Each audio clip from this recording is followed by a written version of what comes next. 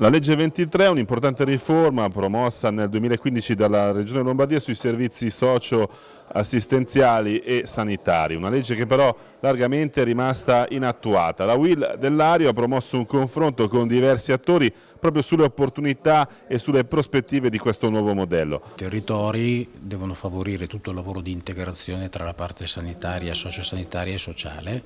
Questo presuppone un grande lavoro di raccordo tra ospedali, medici di medicina generale, amministrazioni comunali, RSA, insomma tutti i vari soggetti eh, corresponsabili nella costruzione di un nuovo sistema in cui non è più il cittadino che ha la responsabilità di girare tra i vari attori per eh, individuare i servizi che gli servono, ma tendenzialmente l'organizzazione si muove verso il cittadino. Una riforma molto dire, importante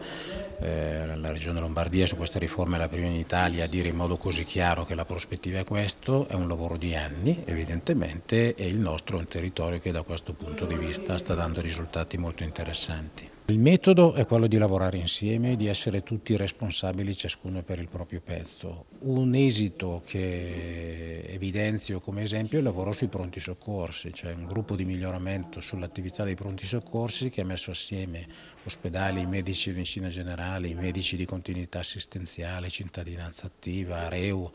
e che ha consentito attraverso una serie di progetti che sono stati attivati di avere nella eh, recente eh, in, eh, influenza del mese di dicembre e nelle, nelle prime settimane di caldo di quest'anno non i picchi di accessi inappropriati che si vedevano precedentemente e che su altri territori della nostra regione si presentano ancora oggi, il che vuol dire che condividendo le responsabilità e facendo in modo che ciascuno metta sul tavolo quello che può mettere, eh, c'è la possibilità concreta di fare qualcosa di utile. È stato un importante momento di confronto che ci ha permesso di vedere